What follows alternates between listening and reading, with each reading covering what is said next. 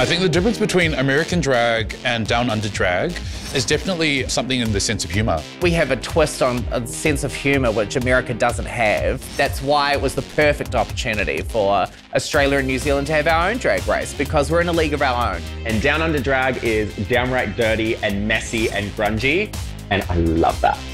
It's just more down to earth, hence down under. We're more chilled, laid back. It's very real, it's very authentic, little bogan, but We're a little bit kinder here, perhaps. I know in New Zealand, growing up here, we take that very seriously. We try to look out for each other and we take pride in that. And America, I guess, eh, all each to their own. And they and that's a great quality to have for sure.